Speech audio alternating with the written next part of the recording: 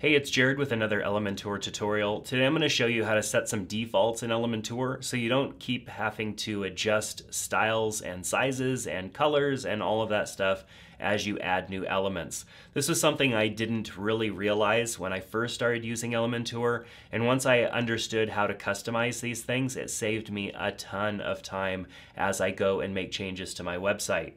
And then, of course, uh, if I wanted to make global changes to the website, it makes it much easier to go and just change these defaults instead of having to go to each element throughout your website and make those adjustments one at a time. So to get to those uh, settings, typically an easy way to get there is if you're already editing a page, you just click on the hamburger menu in the top left-hand corner and go to Site Settings. And under Site Settings and Design System, you've got global colors, global fonts, and then some other things you can adjust as well. Let's take a look at the global colors. We have primary, secondary, text, and accent. These are the default colors that something is going to, like an element is going to choose when you drop it into place. For example, your primary is going to be something like your, um, your headers. Uh, your secondary might be something like your menu your text color is obvious, and then your accent might be something like a shadow um, or a different element within one of these elements. So uh, changing these colors to, to kind of match your design, your styling is gonna be great. If you don't know exactly what colors to choose from yet, one thing that I often use is uh, Adobe Color. It used to be Adobe K-U-L-E-R, but I think it's now just color.adobe.com. And when you go there, there is the Explore tab, which I really like, that shows me lots of color palettes. Um, and this changes, I think, almost monthly. But you can also just type in a color and find color palettes to choose from. And these are colors that are going to complement each other.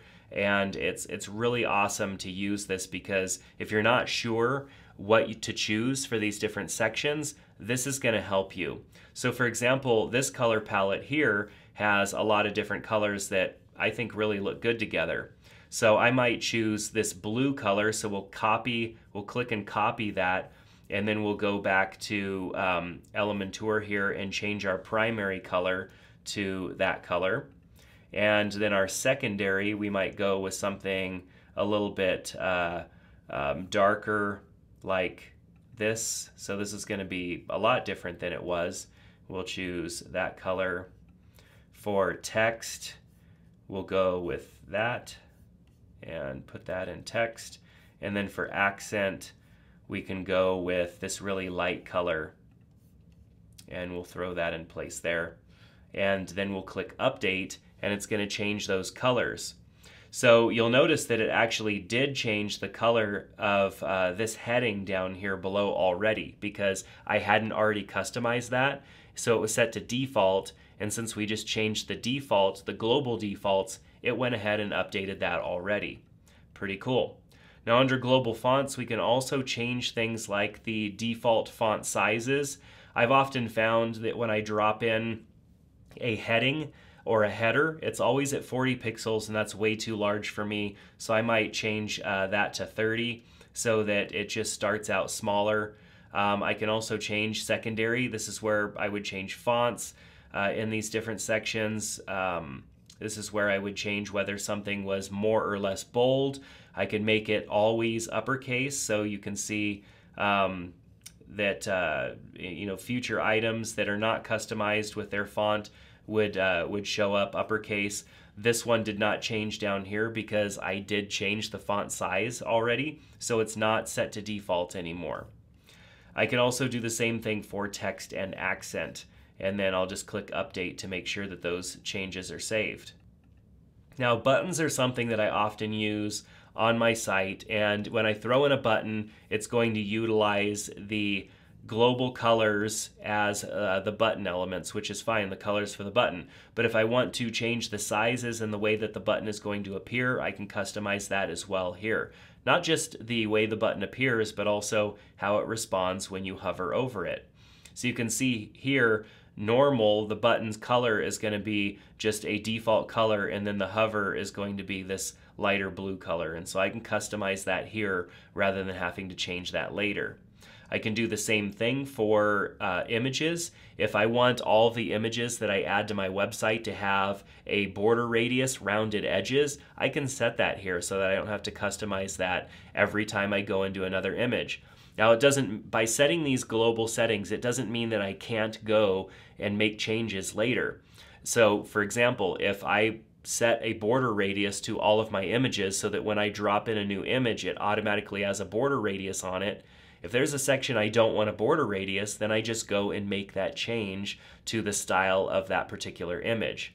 So at this point in time, I can decide what is the most likely border radius that I would want on an image. If it's none, I don't even change it. If I do want to change it, I can do that here.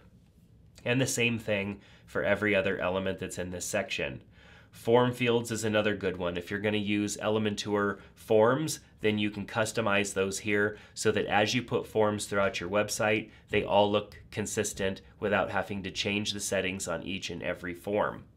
So changing these default site settings uh, is just really great. It definitely helps you get a lot accomplished on your website um, and saves you a lot of time from having to go and customize all of those elements. So I, I recommend setting these things at the beginning of your design before you even get started building headers, footers, or anything else. Setting these global settings are going to save you a ton of time as you build out the rest of your website.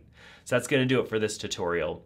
Make sure to check out the links in the description. You can get access to my course for free, my Elementor course where you can learn everything that there is to know about Elementor. Uh, if you're interested in Skillshare, you can get, with the link below, a free trial to Skillshare and watch my course for free as well. There's also a lot more tutorials available. If you subscribe to the channel here, you'll get notified when those tutorials come out. And then, of course, you can go on and watch uh, many of the others that are already uploaded. And there's new ones being uploaded every other day. So if you have any questions, definitely ask down in the comment section below. But that's going to do it for this video. Thanks for being here, and I hope to see you back in another one. Take care.